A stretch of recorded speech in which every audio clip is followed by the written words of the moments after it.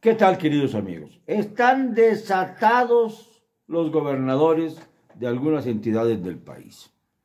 Todos están vendiendo sus estados a Morena a cambio de embajadas, a cambio de impunidad.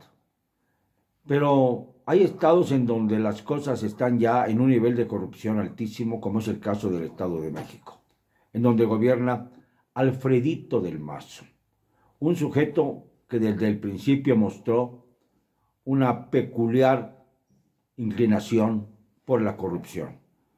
Y para muestra, el botón del Instituto de Seguridad Social del Estado de México y municipios, ISEMIM, yo no sé por qué se llama así, pero así se llama, en donde el director de gestión de esta, de esta institución, de gestión y control el señor Miguel Ángel Colín García, realizó, fuera de toda legalidad, una especie de concurso en donde no más había un concursante, es decir, fue una adquisición directa a la empresa Ingeniería e Investigación Médica, que seguramente tiene relaciones de muy alto nivel, para adjudicarle eh, pues, la compra de servicios de desinfección patógena de alto nivel, de alto nivel, o sea, como las que compra López Obrador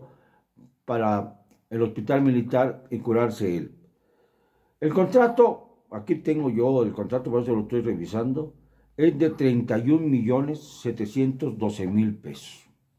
Y claro, todo esto lo pudo realizar porque tiene este señor Colín socios muy, muy acreditados, como por ejemplo eh, Jorge Guerrero Aguirre, coordinador de servicios de salud, Rosa Marta Medina Peñalosa, directora de atención de la salud, Joaquín Israel Mendoza, quien es eh, director de adquisiciones, y también le pegan a Claudia Erika Ponce Nava, coordinadora de administración y fuerzas de este instituto. ¿Qué es lo que sucede ahí?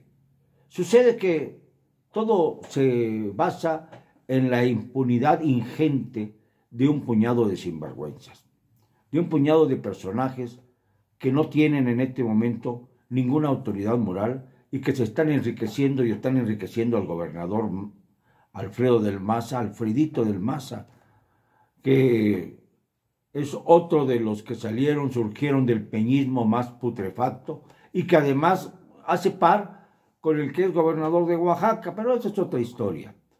El caso es que están los gobernadores, pero llenándose los bolsillos. Y a pesar de las denuncias que hemos hecho en este espacio, sigue habiendo una corrupción en el Estado de México como no la habíamos visto nunca, ni siquiera en las épocas del célebre profesor Carlos Jan González, quien, entre otras cosas, tenía muchos enlaces con el narcotráfico. No dudamos que en todo esto del ICEMIN también tenga que ver la delincuencia organizada. Porque de repente surgen empresas fantasmas y a ellas se les adjudica directamente la compra de insumos básicos para el desarrollo humano y de la salud. Y en el caso del ICEMIN, con toda esta pandemia y todo este drama que hemos vivido, el escándalo, el escándalo es mucho mayor. No me van a callar y lo digo con cero cobardía.